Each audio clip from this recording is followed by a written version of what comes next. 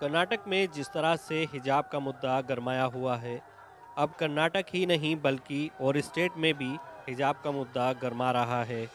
हालाँकि अगर देखा जाए तो हिजाब का कोई ऐसा बड़ा मुद्दा भी नहीं है, लेकिन कुछ राजनीतिक दलों ने इसको एक मुद्दा बना दिया है। कर्नाटक में एक कॉलेज से शुरू हुआ हिजाब को लेकर विवाद। कुछ राजनीतिक दलों ने इसे धार्मिक रंग देने की कोशिश की है। जबकि हर महिला को हक है कि उसे क्या पहनना चाहिए और क्या नहीं। देखा जाए तो भारतीय जनता पार्टी के मंत्री पहले भी लड़कियों के जींस पहनने को लेकर चर्चा में रहे हैं और आज लड़कियों के हिजाब का विरोध कर रहे कुछ दलों का समर्थन भाजपा के लोग कर रहे हैं। जबकि बुद्धिजीवियों का कहना है कि इस मुद्दे को राजनीतिक रंग नहीं देना चाहिए। देखिए जनाब, ऐसा है कि ये हिजाब का जो मामला है ये कोई पॉलिटिकल और पॉलिटिकल इशू नहीं है। ये बेसिकली कल्चरल इशू है। ये एक सांस्कृतिक मामला है। हम कैसे जीते हैं, हम क्या खाते हैं, हम क्या पहनते हैं, इसका सियासत से कोई लेना देना होना नहीं चाहिए। क्योंकि तो हमारी रवायतें हिंदुओं की हों या मुसलमानों की हों, सदियों पुरानी हैं। और उन सदियों पुरानी रिवायतों को वो अच्छी हैं, बुरी हैं, ये तो अलग, ये तो समाज फैसला करेगा। सियासत को कोई हक नहीं है, फैसला करने का सियासतदान तो सिर्फ़ इसको इशू बनाकर डिवाइड एंड रूल करना चाहते हैं। इनका मकसद समझिए हिजाब हिजाब से इन्हें कोई लेना देना नहीं, ये कोई सोशल रिफॉर्म भी नहीं है, ये कोई मुस्लिम औरतों की हितैषी भी नहीं है कि उसको बड़ा प्रोग्रेसिव बनाना चाहते हैं उनको ये। समझे साहब? असली इनका मकसद ये है कि ये किस तरह से लड़ाएँ लोगों हिजाब अब बन गया, पहले सी था, कल को कुछ और आ जाएगा। तो बेसिकली ये जो फूट डालो राज करो की जो नीति है ना, अंग्रेज़ों वाली, ये उसी के ही सरबराह हैं आज के सियासतदान। मैं ये नहीं कहता सिर्फ़ हिंदू हैं ऐसे मुसलमानों में भी कमी नहीं है सियासतदानों की ऐसी।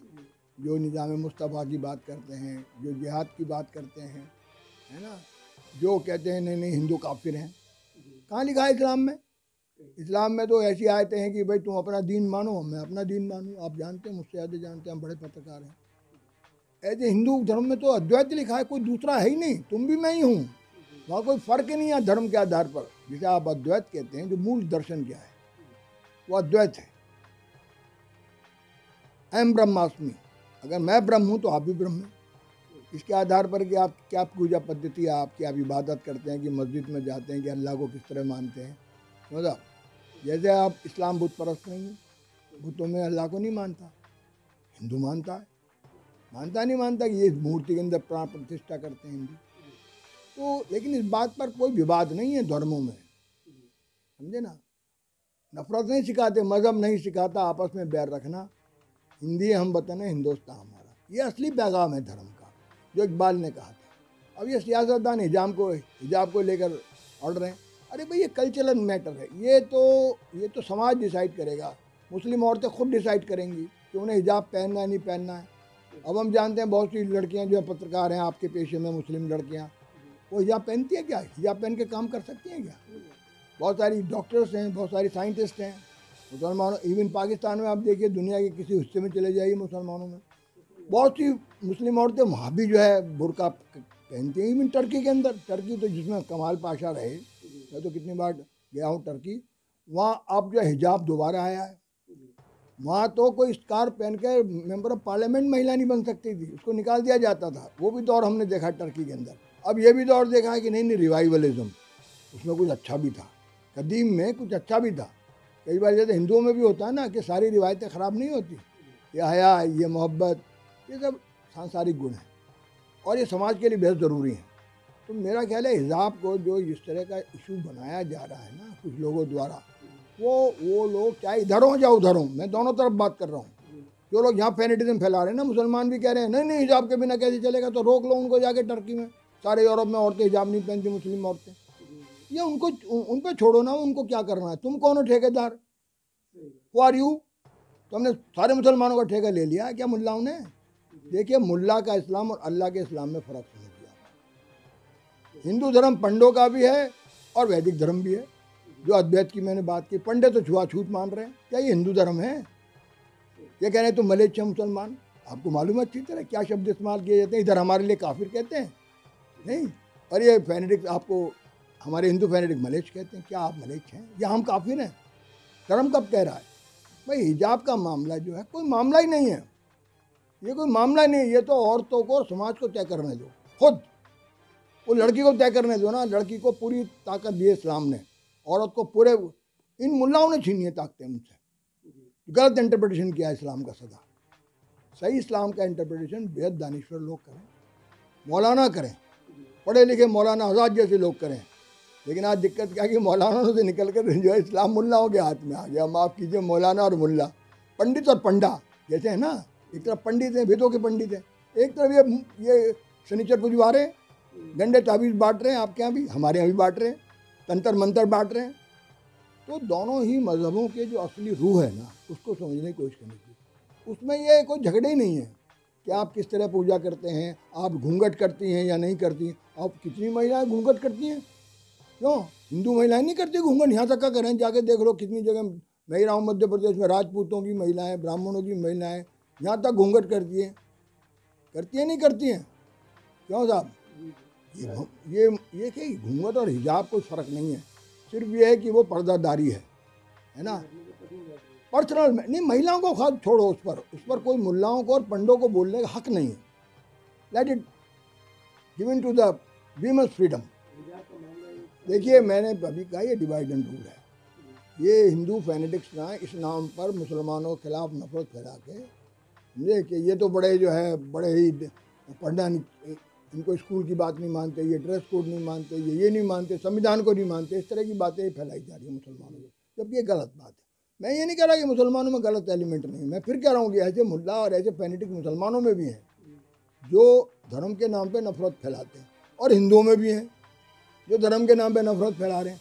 तो नफरत तो हर जगह गलत है। चाहे वो खालिस्तान के नाम पर फैलाई जाए, चाहे वो जिहाद के नाम पर फैलाई जाए, या वो किसी हिंदू धर्म के नाम पे, हिंदुत्व के नाम पे फैलाई जाए। अब वो हिंदुत्व चल गया एक नया नाम। ये हिंदुत्व का तो डंका पीट रहे हैं ये जो आरएसएस वाले हैं।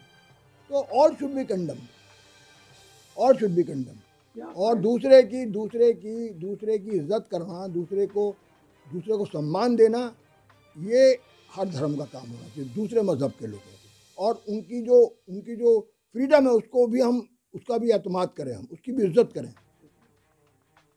उसका भी हम एहतराम करें, उसका भी हम विश्वास करें कि वो लोग उनके बाद भी दिमाग है क्यों?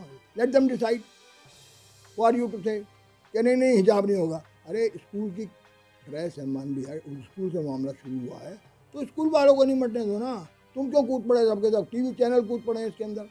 Let them decide let the student और principal should decide let the management decide why you are you are become Chaudhary ये सारे सियासतदान जो है ना वहाँ पर लग गए हैं कर्नाटक में, ये फैंटिक जितने भी बजरंग दल दल लग गया है।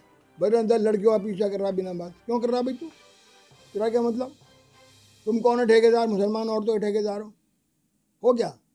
देखो, सियासत चाहे हिंदुत्व के नाम पे की जाए या इस्लाम के नाम पे की जाए, सियासत से, सियासत का मज़हब से कोई लेना देना होना नहीं चाहिए। क्या मतलब है? आज हम संविधान से गाइडेड हैं या धर्म से गाइड हो गाइड हो रहे हैं? आज हमारी सियासत तो संविधान से प्रेरित होनी चाहिए ना। सेकुलर इंडिया है क्यों? हम कोई मुस्लिम इंडिया नहीं है, हम कोई हिंदू इंडिया नहीं है। कुछ लोग ये हिंदू इंडिया बनाना चाहते हैं। ये तो मुझे इस्लामिक पाकिस्तान बना लिया। Islamic republic of Pakistan. ये इसको हिंदू रिपब्लिक ऑफ़ इंडिया बनाना चाहते हैं। तो ये दोनों ही बातें समझ के बाहर हैं और anti democratic we are democratic people we are secular people all religion should be respected और एक विद इन जो रिलीजन के अंदर फ्रीडम होनी चाहिए, वो सबको मिलनी चाहिए।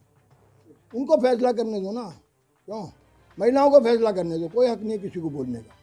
लेट दम डिसाइड कि वो हिजाब पहनेंगी या नहीं पहनेंगी, या वो एडवांस रहेंगी, या मॉडर्न पहनेंगी, वो वो क्या कपड़े पहनेंगी, है ना? ड्रेस कोड कौन है डिसाइड करने वाले ये लोग?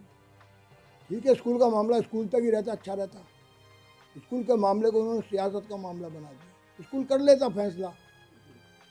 उसमें बन रहे सब चौधरी, जो है, बड़े बड़े सियासतदान बोल रहे हैं, बकवास कर रहे हैं, बड़े बड़े पॉलिटिशियन बोल रहे हैं।